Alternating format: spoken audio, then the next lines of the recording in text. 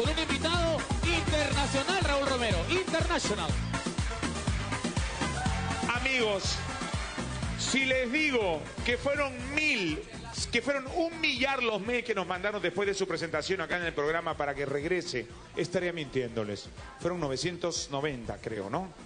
Infinidad de personas, infinidad de gente en la calle. En mi casa al volver eh, me dijeron, qué lindo el programa, qué gran artista has tenido Raulito.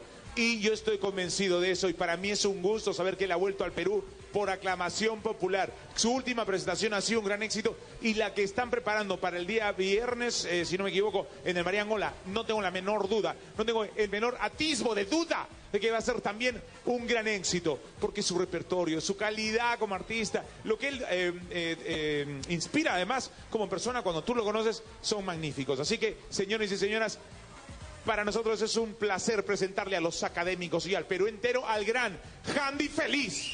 ¡Opa! El creador de la Chihuapa. Este viernes en el Mariangola. Entrar a las ventas en toda la cadena rústica. En el Mariangola, Andy Félix. Bienvenido, Handy. Wow. Presento nuevamente a los académicos. Muchas gracias, muchas gracias. Gracias de verdad. Mira qué belleza hay aquí. Y aquí también.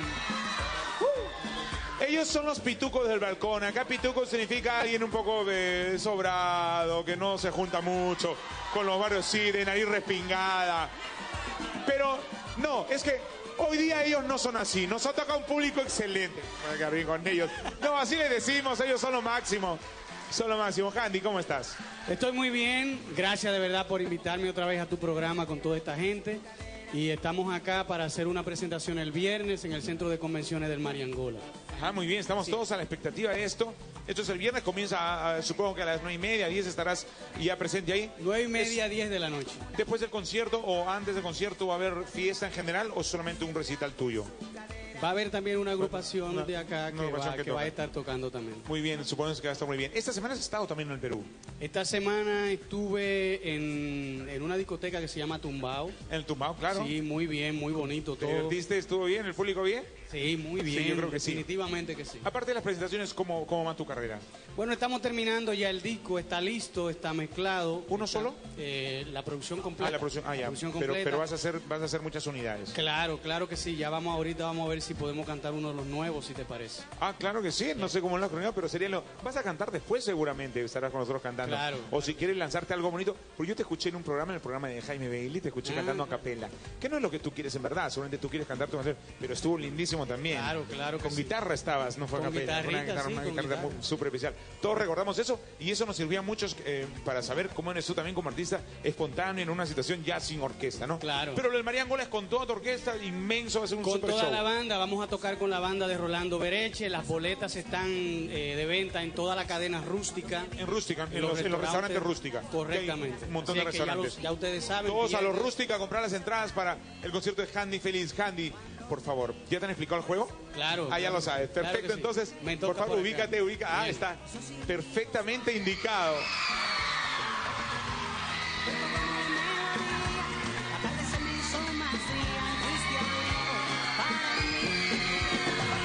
Amigos,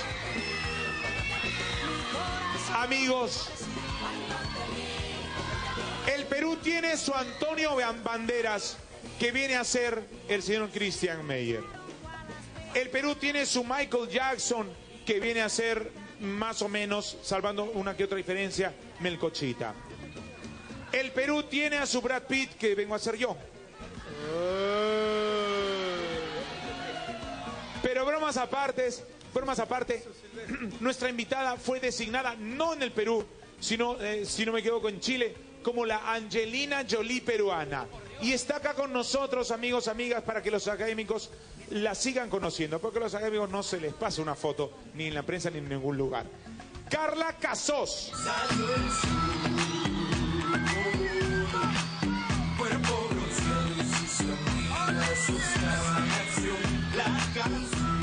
ella modela. Ella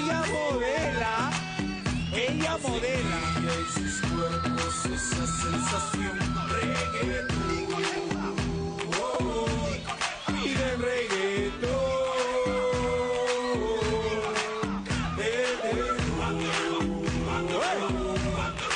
la presión. Estoy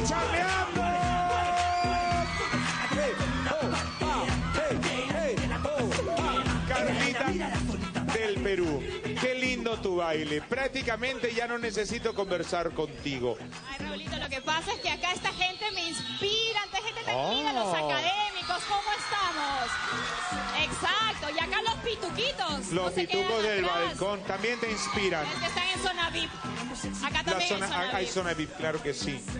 A donde tú perteneces en el fondo con tu elegancia, con esa manera discreta de mostrar tu sensualidad. Cuéntanos un poco sobre el, eh, este sobrenombre eh, que la cultura popular te ha puesto de la Angelina Jolie peruana.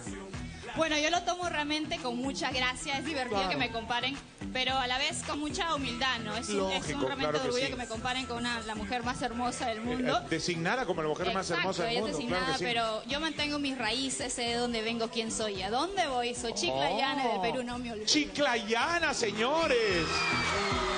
Y a muchísima honra. Cuando dejaste tu querido Chiclayo, de la ciudad de Chiclayo eres, de la ciudad misma. Santa Victoria. Ah, sa- oh, de- bueno, acá también hay un centro Victoria. Claro, no Santa Victoria, ¿no? Muy bien. Cuando dejaste tu queridísimo Chiclayo eh, con una lagrimita eh, cayendo por, por tu mejilla, ¿pensaste que ibas a lograr... eh, Claro, que todavía hay mucho por recorrer, pero lo que vas logrando, ¿pensaste que ibas a dar estos pasos importantes?